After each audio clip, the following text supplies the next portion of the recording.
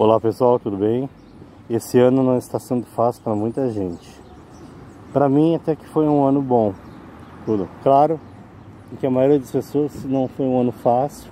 Para mim, como eu sei lidar, tirei de, de, letra, não tive muitos empecilhos, tudo. Mas, né, o pessoal que esteve, o profissional da saúde esteve cuidando com todos os doentes, todas as pessoas com relação a essa pandemia, que sempre estão, eu quero fazer minha reverência, tá? Eu já trabalhei em hospital, trabalhei em hospital de humanos e hospital de, de pet, de animais, tá?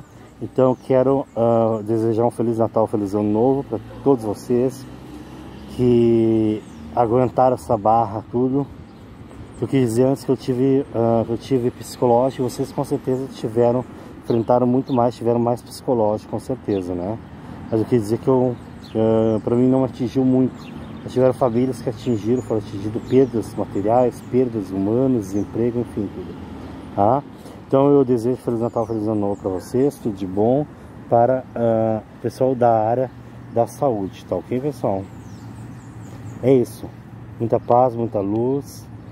Tá passando, vai passar, ou tá passando também. A gente pode encontrar ainda uns empecilhos pelo caminho, mas vai tudo melhorar. Tchau, tchau. Um abraço. Feliz Natal Ano Novo.